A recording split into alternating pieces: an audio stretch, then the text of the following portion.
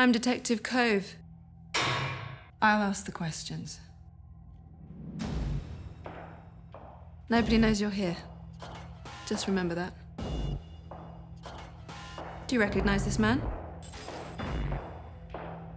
George is dead. Hanged by the rope you bought after he stepped off the chair you bought. You were my partner. You killed my boyfriend you